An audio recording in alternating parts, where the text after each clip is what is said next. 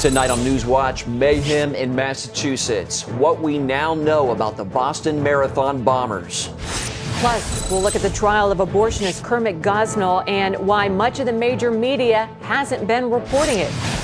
And the growing problem of homemade explosives right here in the U.S. All this and more tonight on Newswatch. The city of Boston is in a virtual lockdown this evening. Good evening. I'm Mark Martin. And I'm Wendy Griffith. One suspect in the Boston Marathon bombing is still on the loose. There are a lot of unanswered questions tonight, but here's what we do know. Investigators suspect two Chechen brothers are behind the attack, one just 19 years old, the other 26. The older of the two was killed after an overnight shootout with police. The younger one remains on the loose. The two men had lived in the U.S. for almost 10 years. The younger of the two just became an American citizen last year on September 11th. Heather Sells has more in tonight's top story. The two brothers are now known for this the Boston Marathon bombings, which left three dead and scores injured. And then last night, a common robbery at a 7 Eleven in Cambridge, where a surveillance camera captured their images again. Next, the brothers ambushed and killed an MIT campus safety officer, then carjacked a Mercedes and led police on a wild chase. It ended in gunfire and the death of the older brother, 26 year old Tamerlan Tsarnaev. Today, the younger 19 year old, known as Jahar, eluded authorities despite a massive search and lockdown in and around Boston. We're asking people to shelter in place, in other words, to stay indoors with their doors locked. So, who are these brothers who have terrorized and ultimately shut down the city of Boston? Neighbors say they lived in Cambridge, right across the river, and were known for riding bikes and skateboards. The younger Jahar graduated from a prestigious high school and won a scholarship. He was just quiet. I went to school with him. Friends don't remember political conversations with the two. although the brothers had previously lived in Chechnya and Dagestan.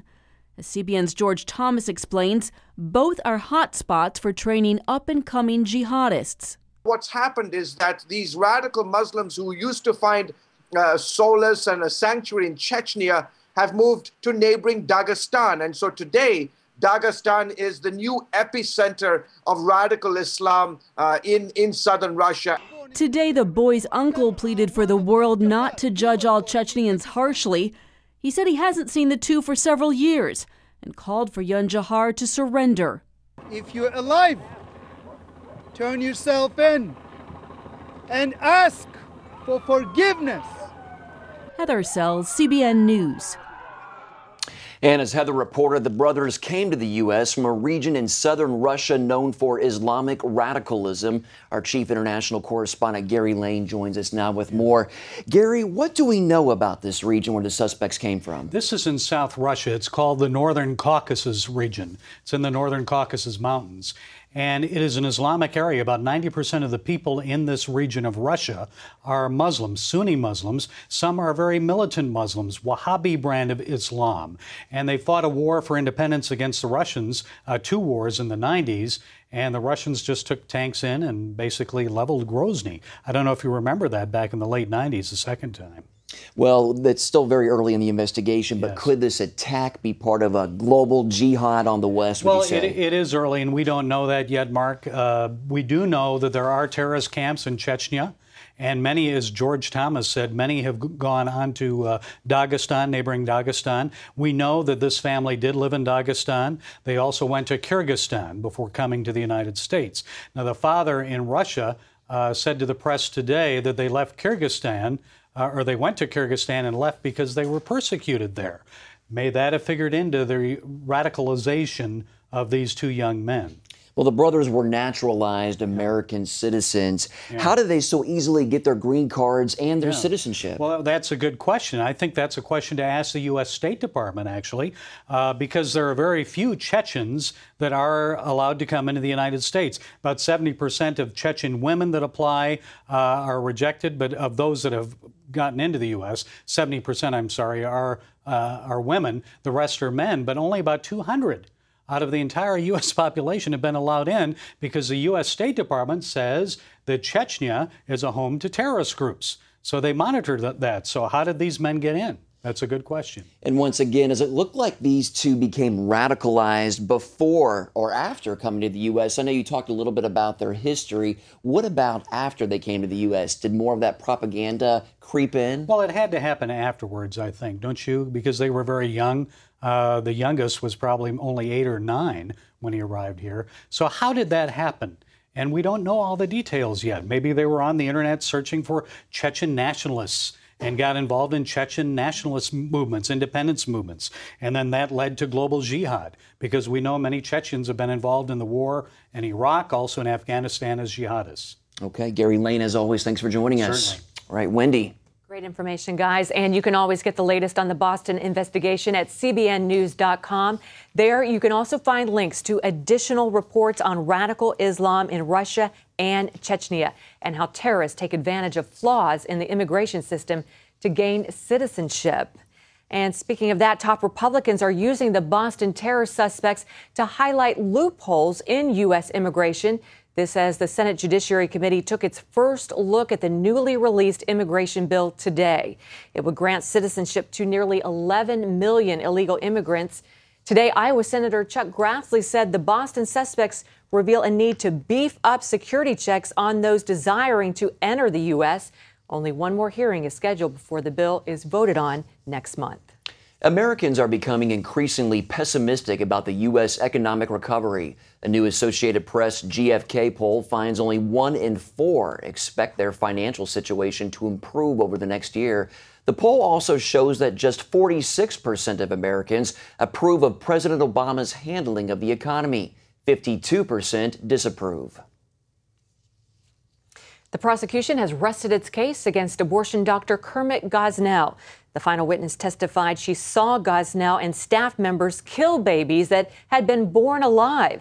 Despite the gruesome nature of the trial, it still isn't getting much coverage from the major media. And it's been going on for five weeks now. Our John Jessup has the story from Philadelphia. It may be all smiles for these teens dancing in downtown Philadelphia, but just steps away in this courthouse, the trial of 72 year old late term abortion doctor Kermit Gosnell has driven many to anger and tears. It's really the first time that an African American abortionist in an African American neighborhood was preying on his own people for profit. Gosnell faces the death penalty for eight counts of murder one in the death of a 41 year old woman who overdosed while in his care, the others for killing seven babies by cutting their spines with scissors after they reportedly had been born alive. Past patients describe his now shuttered abortion clinic as a house of horrors. And I remember just walking through and looking, and I seen some women that looked half dead. In reviewing the case, grand jury members said it was a failure to report and enforce broken violations that led to the clinic's deplorable conditions, including blood-stained furniture and walls, unsterilized medical equipment that spread venereal diseases, and fetal remains stored in paper bags and plastic jugs. We are looking at, at a, uh, a killing field of human beings because one person and a lot of people didn't have courage to go ahead and follow up and make sure that there were safe conditions in that abortion clinic. Dannenfelser and others blame former Pennsylvania Governor Tom Ridge, a pro choice Republican, for ending clinic inspections in the 90s. Unless you are a pro life governor, you're probably not going to have the backbone and the courage to go ahead and enforce the regulations as they're put on the books. She and others don't limit the blame to state and city authorities.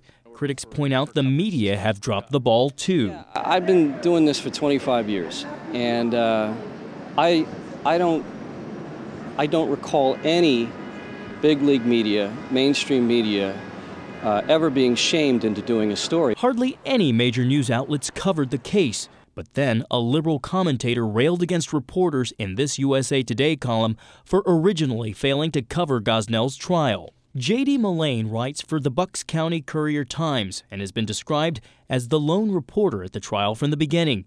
He believes the case and the grand jury's report has the potential to reshape the national debate over abortion. CBN News first reported on the grand jury's findings back in February 2011. I am convinced that if only half of what is in that report were known to the American public, uh, given coverage by, you know, uh, the mainstream media, especially the, the TV networks, Roe versus Wade and the unfettered right to an abortion uh, would be as vigorously debated in America as the Second Amendment is after the Sandy Hook Elementary School massacre. I'm convinced of it. It is that bad. But not bad enough for the White House to weigh in. When asked about President Obama's opinion earlier this week, Press Secretary Jay Carney said the president was aware of the case and does not and cannot take a position on an ongoing trial. In its report, the federal grand jury described Dr. Gosnell's clinic as a drug mill by day and an abortion mill by night. Even though the Women's Medical Society is now closed and Dr. Gosnell awaits the jury's verdict, many wonder how many other clinics, just like Gosnell's, may be operating under the radar. John Jessup, CBN News, Philadelphia. Texas officials report that 12 more bodies have been recovered after the fertilizer plant explosion in the town of West, located near Waco. The announcement brings the death toll to 35. As many as 200 were injured. Search and rescue efforts continue this evening. Dozens are still missing and feared dead, including an off duty firefighter who rushed to help put out the blaze. Entire parts of the community were leveled and burned in the blast, leaving many homeless. Hundreds packed a church in West for a non denominational service where they prayed for the victims. Our thoughts and prayers is what we need. We need everybody to pray. I mean, that's the only thing that's going to save us right now. The cause of the fire is still under investigation. Coming up, the fight over gays in the Boy Scouts.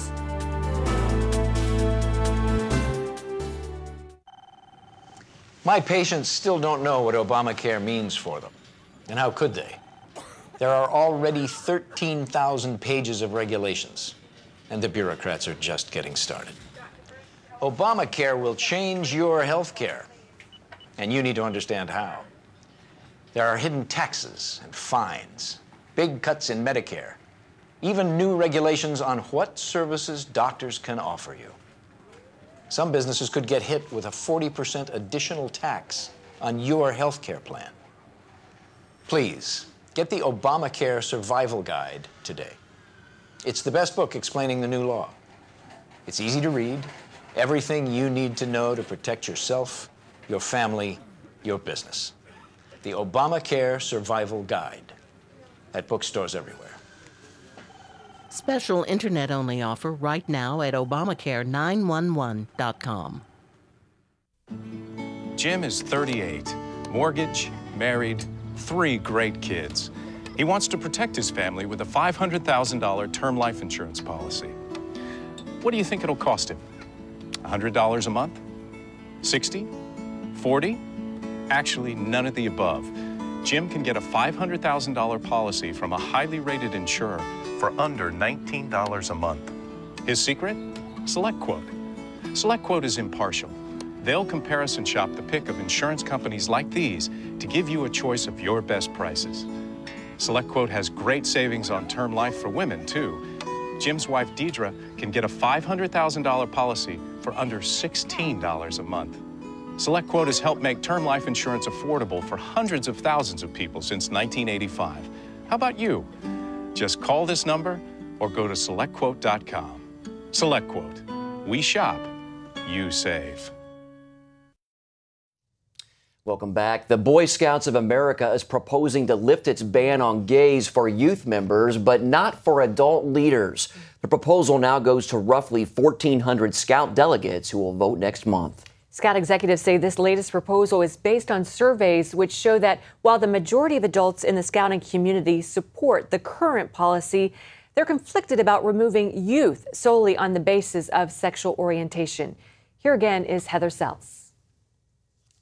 In January, word that the Boy Scouts might lift their ban on gay members erupted into a PR nightmare.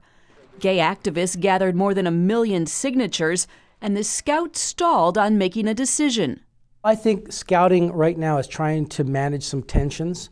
One tension is a lot of troops and units in the northeastern uh, that are sponsored by more liberal churches uh, against the tension in the south and in Texas that have a lot of conservative churches. Churches sponsor more than two thirds of all scout units. The largest are the Church of Jesus Christ of Latter day Saints, the United Methodist Church, the Catholic Church, and Baptist churches. So far, Southern Baptist leaders and Catholic bishops have taken public stands against allowing gays, and at least one group is coming together to oppose it. OnMyHonor.net founder John Stemberger says the Scouts stand to take a huge hit if they allow open homosexuality. I think you'd see a mass exodus, not only of major denominations, but just of common sense parents saying, you know what, we can't trust scouting anymore. There's not that moral consistency throughout the program. Many conservatives point to Canada as an example of what could happen. After making a similar change in 1999, scouting membership there dropped more than 50% to less than 100,000 today. And problems aren't limited to the boys. Girl Scouts in the U.S. have been losing ground since 2003. That decline could be traced to 1993 when they dropped the word God from their Pledge of Honor, allowing girls to substitute whatever word they wanted. That move, plus concerns about a liberal curriculum, prompted Patty Garibay to found American Heritage Girls. Parents really want to teach their kids right from wrong, and they want to do it not just through Sunday school, but through everyday life. At more than 600 troops and growing, this new group emphasizes biblical principles, outdoor activities, and a pledge to love God. Whatever decision the Boy Scouts make, it may no longer be possible to move forward without losing members on one side of the issue or the other. And there are indications that the Scouts stand to lose significantly more if they change course. Heather Sells, CBN News. Ellen Samick is with the group Moms of Boy Scouts, and she joins us now by Skype for more. Ellen, you're the mom of Boy Scouts. Talk a little bit about the organization and what it means to you and your family. We are all about um, encouraging the Boy Scouts of America to stand firm on their policy um, for membership as it currently stands and that is about keeping our boys having a, a safe environment, maintaining our constitutional freedoms. Um, there's a number of factors that play into it, but our, our primary purpose is to encourage them to stand strong on the current policy the way it, it currently reads. Now, you, along with other Boy Scout moms, have written an op ed for USA Today titled Don't Force Boy Scouts to Give Up Their Rights. What's your right. take on the fight going on within the organization right now? And specifically, what is it that you're fighting? Unfortunately, it's not all within the organization. We have had a tremendous amount of outside pressure that is being placed on the leadership of Boy Scouts of America to change our, our membership requirements. Um, most of those entities that have been putting that pressure they're after a different agenda. Why do you think it's so important for the Boy Scouts to stick to their traditional values? Boy Scouts has maintained a standard of, of moral integrity and um, character development for these boys for 100 years. These standards didn't come out come about overnight, but they have stood the test of time. Hmm. And the pressure that's being placed on them right now is all about cultural relativism and what is the current hot topic in political correctness right now. And we're just saying we need to hold firm. Boy Scouts is a private organization. We do not have to change the, they do not have to change their membership requirements based on political pressure from others who have an agenda who aren't in Boy Scouts. They just did a survey and they've been doing this survey for the last couple months. 61% of the membership of Boy Scouts said to maintain their membership requirements as they are right now. Okay, Ellen, we appreciate your insights. Thanks so much for joining us today. Thank you for having me. Up next, the push to educate first responders on the danger of homemade explosives. Hello? Is this thing on? Hey, kids, do you love discovering things? Well, do ya? Then you're gonna love this. It's the new free Superbook Kids Bible app. You can play games, watch videos, find answers to your questions, and a whole lot more. The new Superbook Kids Bible app. Free downloads available on iTunes now. My feet hurt. My feet hurt, your feet hurt. White hot pain, I wanna cry. Is there anything I can try? Why, yes! Introducing Strut Sole Angels, the human shock absorber that helps alleviate foot pain. The first 10 steps in the morning to the bathroom were excruciating. Within three days after I put struts on, it's been such a relief. Slipped it on, and almost immediately I felt a support, kind of like a pillow underneath my arches. The Struts Soul Angel provides a great amount of relief and support throughout the course of the day, providing shock absorption and relief of pain. On your feet without proper support can be painful. Strut Soul Angels promotes better balance, control, and body alignment. Standing in your heels all day is painful, but slip on struts and you'll enjoy comfort and support 24 7. Struts is so versatile, you'll wear them in every shoe you own, even barefoot. I'm on my feet all the time. I teach 11 and 12 year olds. The pain was so much that I knew I had to do something. And with the struts, I can do my job and enjoy my job. I usually am on my feet from 8 to 12 hours a day. When I wear my struts, it's like giving my feet a hug all day. It's life changing. I wear them from the minute I get up to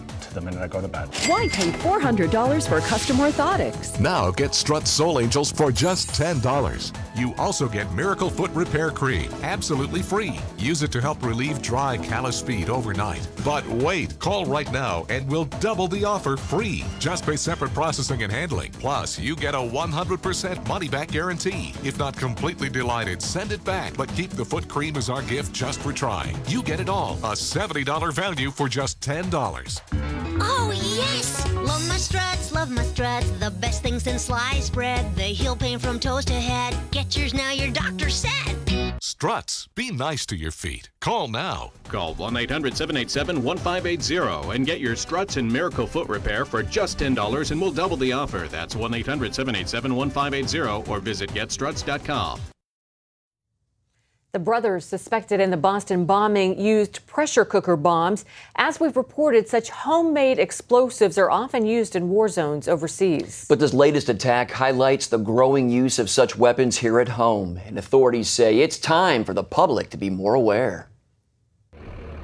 An abandoned school bus in a remote location in Virginia. Fire in all! Three, two, one. Less than 10 pounds of homemade explosives, and the bus is no more. It's a demonstration of the power of bombs that can be made anywhere, with items found right under your kitchen sink. Watch it one more time. A chilling sight, especially when you consider what if this was a terrorist attack? One of the goals of detonating the bus is to show the harsh reality of homemade explosives, to make authorities aware that a lot of damage can be done with only a small amount of bomb making materials. They are used more commonly all the time, and it's just, it's just a matter, unfortunately, of when as opposed to if. So rather be prepared than have to catch up, and that's what we're trying to do is keep people on the forefront of what's going on. Mike Doherty works for American Canine Interdiction. The organization primarily trains dogs to detect bombs, but in this case, they're teaming up with Tripwire Operations Group to teach people, first responders, law enforcement, and bomb squads to be on the lookout for homemade explosives. I hope all our students, um, when they go back to their respective jurisdictions, that we have enabled them to be able to identify homemade explosive formulations. Uh, if they were to go to serve a search warrant or uh, stop a, a, car and it's full of all these precursor chemicals, they're able to put it, the two and two together to say these people are posing a threat of some kind. According to the Bureau of Alcohol, Tobacco, Firearms, and Explosives, between 1998 and 2008, approximately 4,200 incidents involved the possession, manufacture, and use of homemade explosives for experimentation and criminal purposes.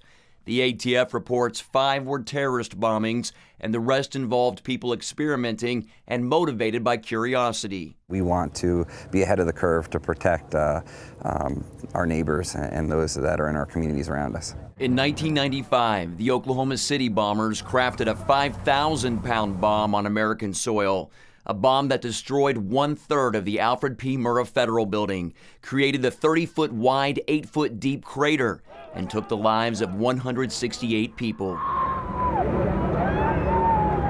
That's why experts say it's urgent for public servants and those they serve to take the issue of homemade explosives seriously, to be educated on what to look for, and to call authorities immediately if they suspect a bomb of any size is being made, or worse, on the verge of detonating. My patients still don't know what Obamacare means for them. And how could they? There are already 13,000 pages of regulations, and the bureaucrats are just getting started. Obamacare will change your health care, and you need to understand how. There are hidden taxes and fines, big cuts in Medicare, even new regulations on what services doctors can offer you. Some businesses could get hit with a 40% additional tax on your health care plan. Please, Get the Obamacare Survival Guide today. It's the best book explaining the new law. It's easy to read, everything you need to know to protect yourself, your family, your business. The Obamacare Survival Guide at bookstores everywhere.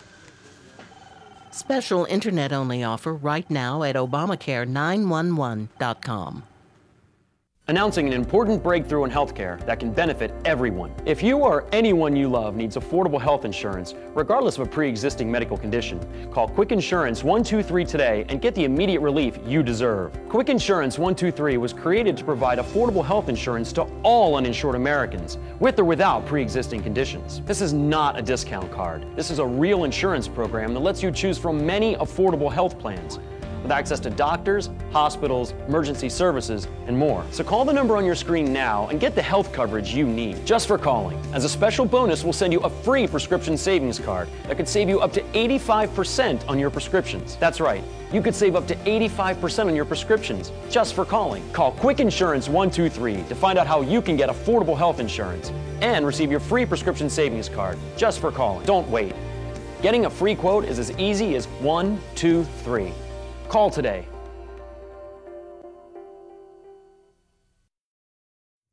And finally, comic lovers gathered in Ohio for a major milestone. The city of Cleveland celebrated 75 years of one of America's most famous superheroes.